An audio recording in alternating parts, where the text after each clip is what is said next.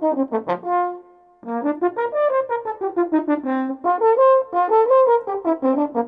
you.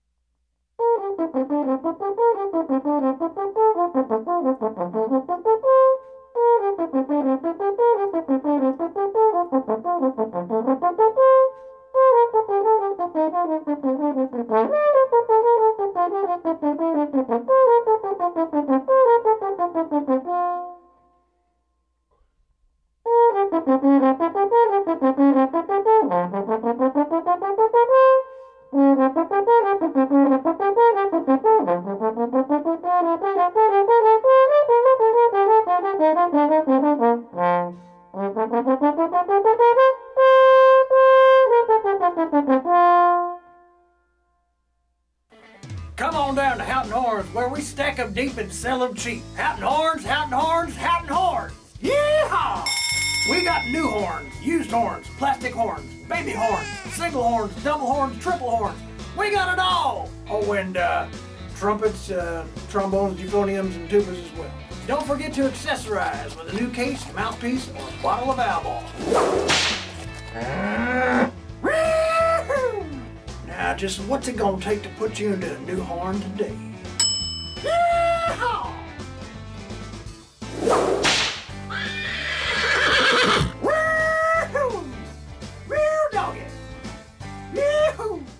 This etude is based on an operatic melody by Daniel Auber, a French composer who wrote operas in the mid 1800s.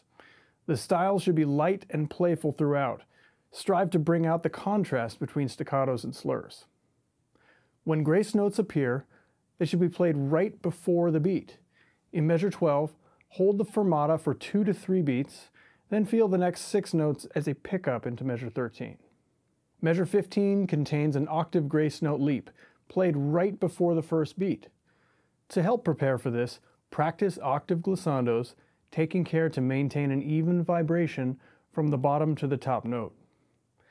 This exercise can be done on the mouthpiece and the horn.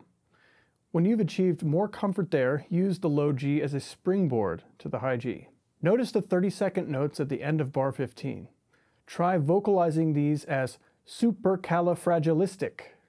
That's eight syllables, all in one beat.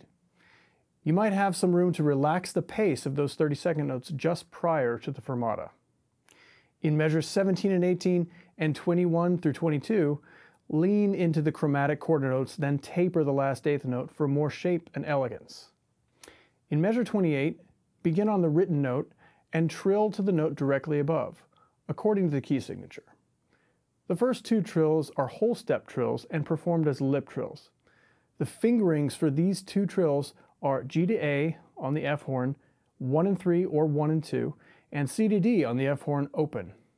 The third trill is a half step trill from E to F, and that is going to be fingered as thumb 2 to thumb open on the B flat horn. In your practice, begin learning measure 28 without the trills and grace notes, while still observing the ritardando. This will help establish the pulse, pacing, and tempo, which are all critical when adding the trills. Here's a quick demo to help build your trill technique.